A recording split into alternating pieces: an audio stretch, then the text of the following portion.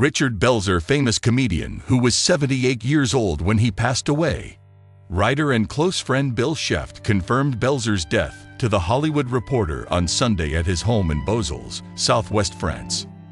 This legendary artist made his film debut in 1974's The Groove Tube and warmed up early Saturday Night Live crowds. Belzer's recurring television detective role John Munch on Homicide debuted in the pilot episode in 1993 and made his final appearance on Law and Order, SVU in 2016. In 2014, Munch retired from the New York Police Department, but he returned to the show for the episode Fashionable Crimes. In the show's 17th season, Belzer was called a consummate professional by Dick Wolf and his production business, which released a statement praising him for bringing laughter and joy into all our lives. The Instagram post proclaims Richard Belzer's detective John Munch is one of television's legendary characters. After working with Richard for the first time on the Law and Order slash Homicide crossover, I told Tom Fontana that I wanted Richard to be an original character on SVU. That was then. This is now. Hargitay, who worked with the late actor, expressed her sadness for her friend and co-star in an Instagram post. Your brilliant personality and fresh perspective on life in this weird planet will be much missed.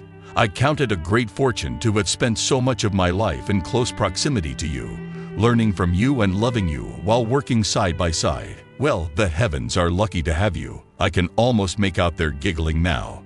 Christopher Meloni joined SVU showrunner Warren Leight in tweeting his condolences. In a quick post to Twitter, Maloney said, Goodbye, Mon Amy. Leight praised the actor for being open, warm, caustic, whip smart, surprisingly nice, and the actor responded with a simple, I love you.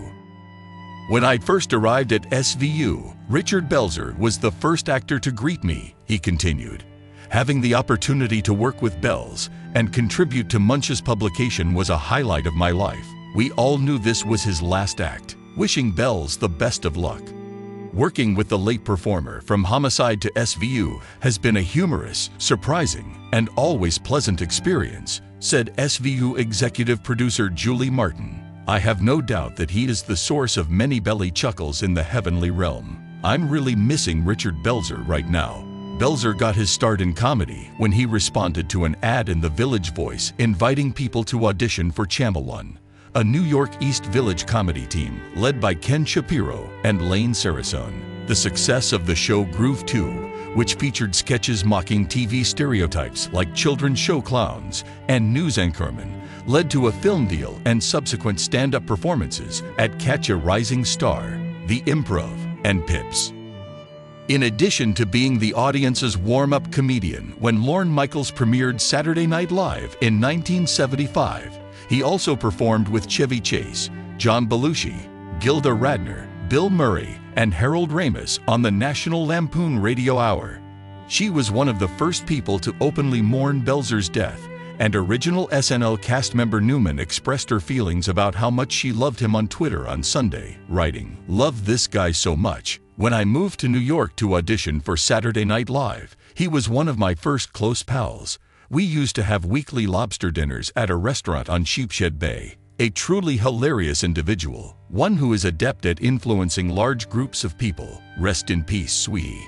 After hearing of Belzer's death, Billy Crystal tweeted his condolences, writing that the comedian was absolutely wonderful. The master of crowd control. Director and writer Paul Feig reminisced on his time working with Belzer, saying, I worked with Belzer back in the 90s, and he was such a lovely, humorous guy, all the way through. We were in fits of laughter, unparalleled ability. Please accept our sincere gratitude, Richard, for making this available to us. Thanks for watching and don't forget to subscribe our channel and must hit the bell icon to get notification.